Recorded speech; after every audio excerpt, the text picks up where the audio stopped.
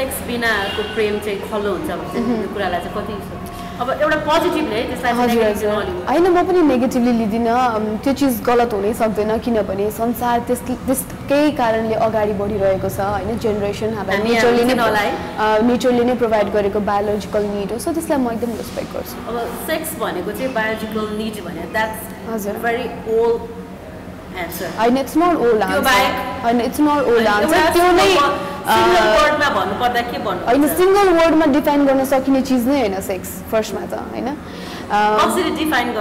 के के चिजले? मैले भन्दाखेरि चाहिँ एउटा बायोलोजिकल निड जसको लागि नेचरले चाहिँ हामीलाई यो पृथ्वीमा लिएर आएको छ हरेक चिज यो बिना अगाडि बढ्न सक्दैन। सो मलाई के लाग्छ भन्दा यदि तपाईँ अ, त्यसलाई चाहिँ राइट ठान्नुहुन्छ के गरिरहनु भएको छ भने चेतनामा हुनुहुन्छ भनेदेखि त्यो चिज रङ होइन तर तपाईँको तपाईँको रेस्पोन्सिबिलिटी चाहिँ तपाईँले लिनुपर्छ क्या।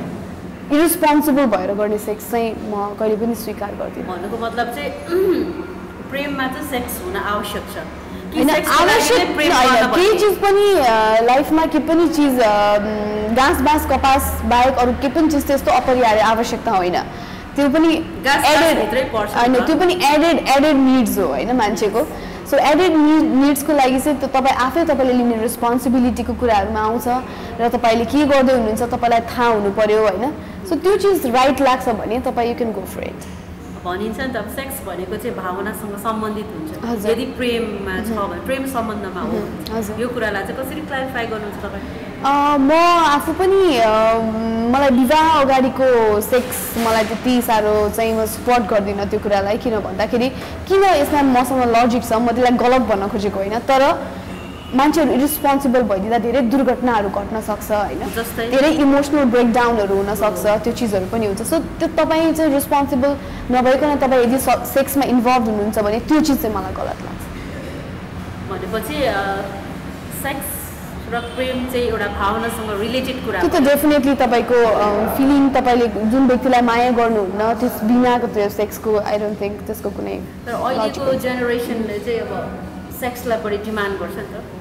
सेक्सकै लागि प्रेम गर्छ तपाईँ के भन्नुहुन्छ त अहिलेको युवा होइन इट्स? अप टु देम मैले भनिहालेँ नि अन्डर सिक्सटिन जसले चाहिँ सोच्ने क्यापेबिलिटी नै राख्दैन। तिनीहरूले त्यो चिजहरूलाई चाहिँ प्राथमिकता दिएको छ भने त्यो गलत हो। तर यदि तपाईँ अब सिक्सटिन एटिन हुनुहुन्छ भने तपाईँ एउटा अडल्ट हुनुहुन्छ तपाईँको तपाईँसँग सोच्न सक्ने क्षमता छ तपाईँले आफ्नो रेस्पोन्सिबिलिटी आफै लिन सक्ने म गलत गरिरहेको छु सही गरिरहेको छु भन्ने कुराको तपाईँलाई हेक्का हुने व्यक्ति भइसक्नु भएको हुन्छ भने चाहिँ त्यो अप टु देम त्यो उहाँहरूले कुरा।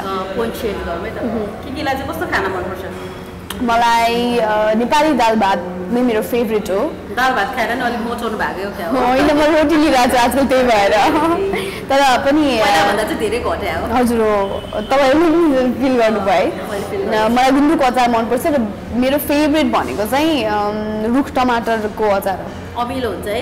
एकदम मिठो लाग्छ मलाई। मिठो लाग्छ। हजुर। अनि तपाईँ केमा रमाउनुहुन्छ त? लाइक तपाईँको फेभरेट पास टाइम चाहिँ अलिकति फ्री टाइम लेजर टाइममा मुभिजहरू हेर्दा हेर्न मन पराउँछु म। प्रायः धेरै मुभिजहरू हेर्छु त्यसमा हलमा गएर हजुर हलमै हेर्छु? घरमा बसेर पनि हेर्छु जसरी पोसिबल गीतहरू चाहिँ सुन्नुहुन्न? गीतहरू पनि सुन्छु। कस्तो किसिम गीतहरू मन पराउनुहुन्छ? तपाईँको सबै खालके।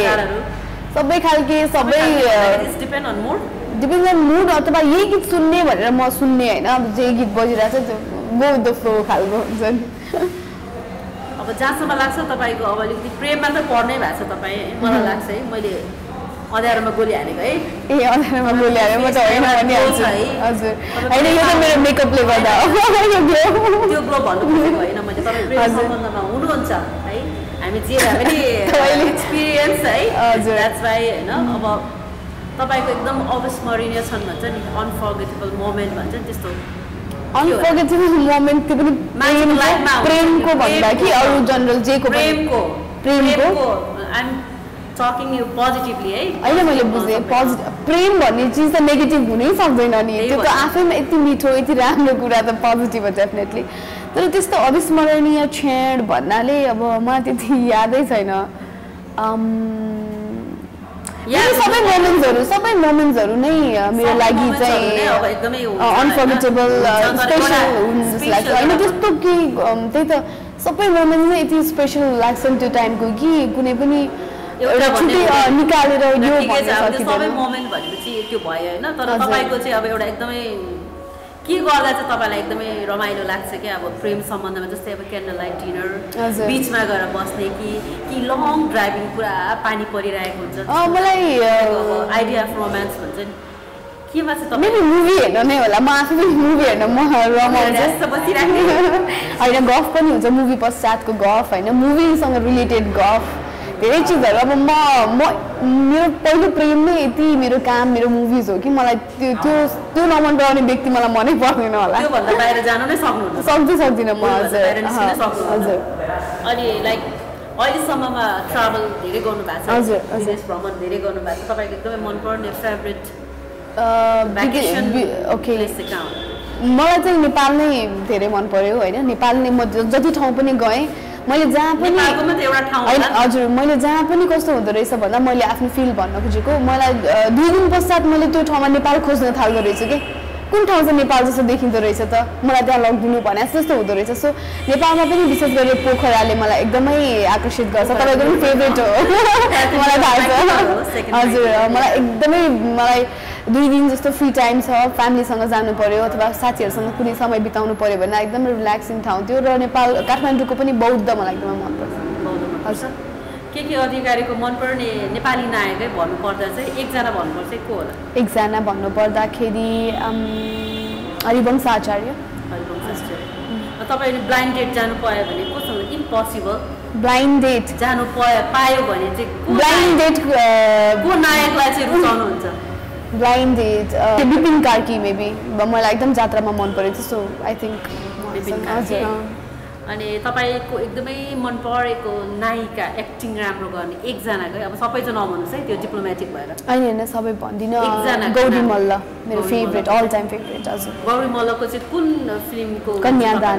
कन्यादान हजुर धेरै पटक परेको। हेरेँ थियो हजुर अनि भविष्यमा फ्युचरमा चाहिँ यो डिरेक्टरसँग चाहिँ काम गर्नु पायो भने राम्रो हुन्थ्यो भन्ने चाहिँ इच्छा हुन्छ नि जस्तै अब मिन बहादुर बाम जसले कालो पोथी डिरेक्ट गर्नुभएको थियो त्यो चाहिँ तपाईँलाई निभाउनुपर्छ धेरै गर्नुभएको छ एउटा चुलबुले गर्लफ्रेन्डको हजुर मलाई मेन्टली ह्यान्डिक्याप्ड क्यारेक्टरहरू मलाई चाहिँ मेन्टली पनि अलिकति सुस्त अलिकति डिफ्रेन्टली एबल भएको व्यक्ति मलाई त्यस्तो क्यारेक्टर गर्न मन छ जस्तै ब्ल्याकमा रानी मुखर्जीको क्यारेक्टरहरू।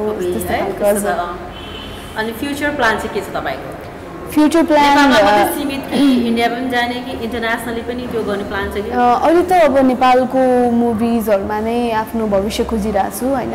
अझै पनि त्यस्तो सिक्योर्ड भएर अब म यही गर्छु भन्ने भइरहेको छैन। अझै पनि स्ट्रगल फेजमै छु। र यसबाहेक फिल्म मेकिङ गर्ने मेरो एकदम ठुलो बच्चादेखिको सपना हो। सो मलाई त्यो गर्नको लागि गर्न म जान्छु र त्यसपछि डेफिनेटली फिल्म मेकिङमा पनि हात हाल्छु। किन भन्दा हामी यति वर्ष फिल्म फिल्म लाइनकोमा बिताइसक्यौँ फिल्मको बारेमा बुझिसक्यौँ नसा जानिसक्यौँ। नसा भन्दा यो चिजप्रतिको माया प्रेम जस्तो अघिको प्रेमको कुरा होइन मोह। मोह प्रेमले हामीलाई त्यो आकर्षणले हामीलाई त्यो छुटाउनै सक्दैन क्या चुम्बकीय एउटा शक्ति जस्तो। सो त्यो चिजले पनि हामी टाढा अरू केही चिज गर्नै सक्दैनौँ। यही चिजमै बरु जानेको बुझेको भनेकै यही छ बरु यही भने डेडिकेट हजुर, exactly, हजुर। अनि लाइक अब अहिलेको जुन फिल्म भने नि बनाउने तरिका अहिलेको कलाकार जस्तै अब। पहिला त अब अनारै राम्रो हुनुपर्छ।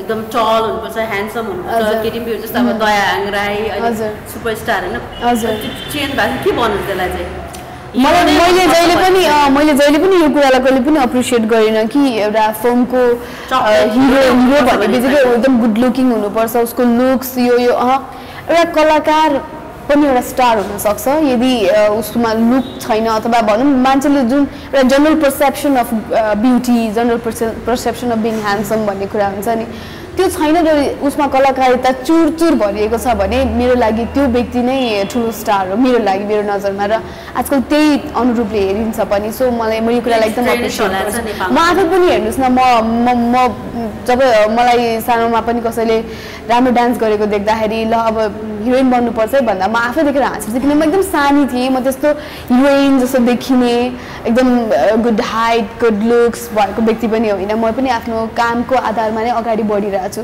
सो धेरैजना जो सर्ट हाइटेड हुनुहुन्छ अनि जसले चाहिँ यो फिल्डमा भविष्य देख्न खोज्नुहुन्छ अनि मलाई आफ्नो आइडल लिएर तपाईँ पनि आउनुभएको कारणले मैले पनि सपना देख्न पाइरहेको छु भन्नुहुन्छ। मेरो लागि ठुलो अचिभमेन्ट नै त्यो हो। कस कमसेकम कसैलाई सपना देखाएर त्यो सपना पुरा हुन सक्छ भन्ने ठाउँमा त पुगेछु नि त।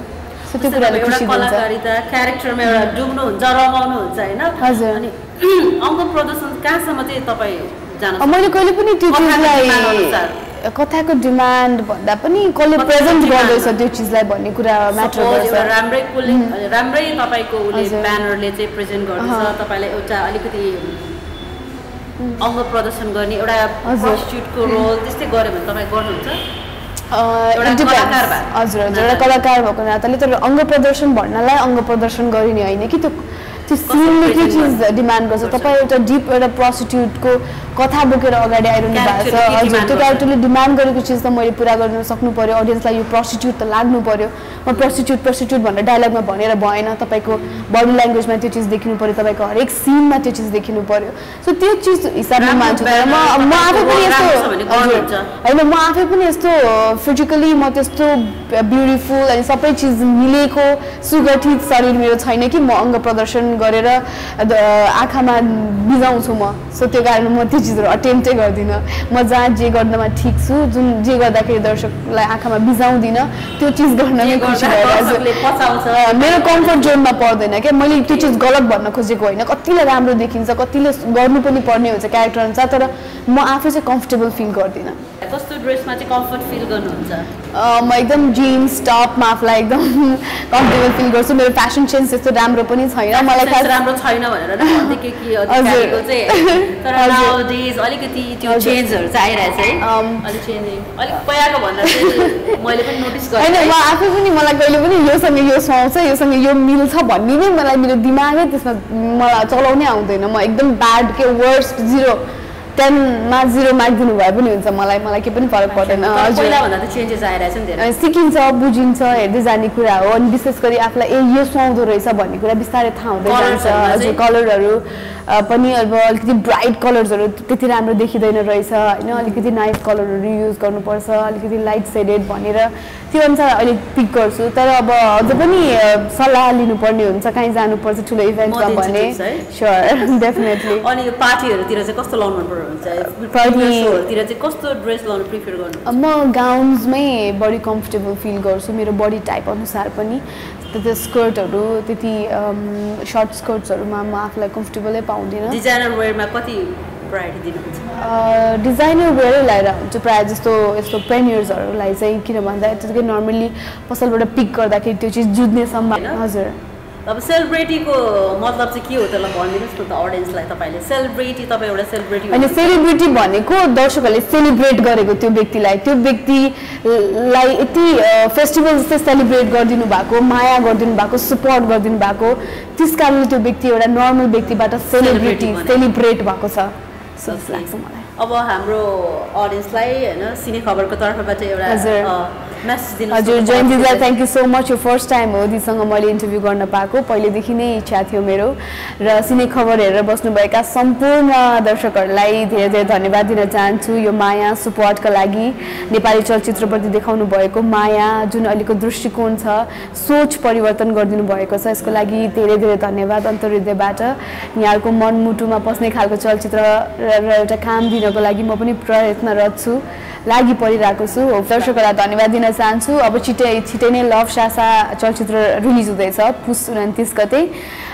डिफ्रेन्ट खालको लभ स्टोरी छ यहाँलाई मन छुन सक्छ हेरिदिनु होला। एकचोटि र त्यसबाहेक घामपानी दयाहाङ राई तपाईँहरूले एकदम मन पराउनु भएको एक्टरसँग पहिलोचोटि स्क्रिन स्पेस सेयर गर्दैछु र त्यस बाहेक ऐश्वर्या यसमा पनि डिफ्रेन्ट अघि मैले भनिहालेँ क्यारेक्टर त्यो मन पर्न सक्छ यहाँलाई त्यो बब्ली केटी त्यो एकदम प्याम्पर्ड गर्ल सो मलाई त्यो त्यस्तो खालको क्यारेक्टरमा धेरै रुचाइदिनु पनि भएको छ। So this is one of those र thank you so much for all the love support मसँग खास भन्यो भने धेरै शब्दहरू नै छैनन्।